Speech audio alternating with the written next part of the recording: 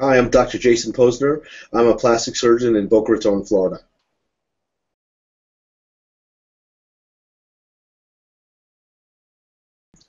I, I think that's a great question. And the answer is in 2014, no. In 2020, maybe. Okay? So things are getting better. And I think for the younger patient population, the skin tightening devices can definitely replace that early facelift.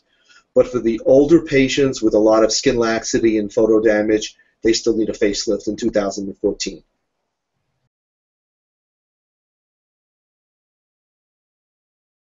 My view is the more the better. The better the non-surgical treatments, the better for me, the better for my patients. So in answer to that question, do non-surgical treatments, are they replacing surgical treatments? The answer is yes. Okay, and that's great. For example, we have many non-surgical fat busting technologies now, from Zeltiq to Liposonix to UltraShape, which is coming, or Vanquish. They definitely can take patients who don't want or need a big liposuction and turn them into a great body contouring patient. But they also bring a lot of people who are not great candidates for those procedures into our offices who really need something more aggressive. On the face, the same thing. I can't tell you how many patients come in looking for Ulthera, for example, that are just not good candidates for it and end up with a facelift on my table.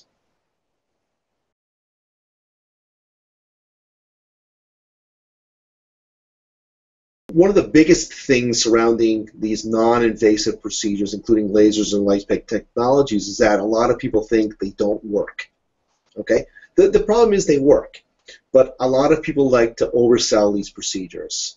You know, these procedures do not replace a facelift in most of the patients. So we, you have to really judge the proper patient for each of these procedures and really let the patient and the doctor decide on what's appropriate for that patient.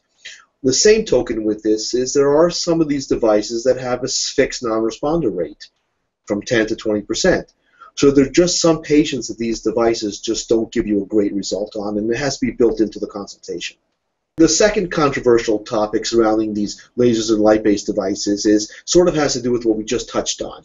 Is patients coming in for procedures because they heard about it on Real Self or on TV or from their friends, and they're just not good candidates for it. Okay? For example, the older lady with a hanging neck is not a candidate for a little liposuction procedure or a non-invasive procedure because they're going to have hanging skin. Or they might not be a candidate for Ulthera because they're just too far gone. Okay, so the bottom line is with this, again, pick the appropriate technology for the appropriate patient and don't oversell it. I love my lasers and light-based technologies, and these devices are an integral part of our practice. We use them every single day in our practice. For those of you who haven't really embraced these technologies, really, I really think you should look at them carefully and buy the appropriate technology for your office.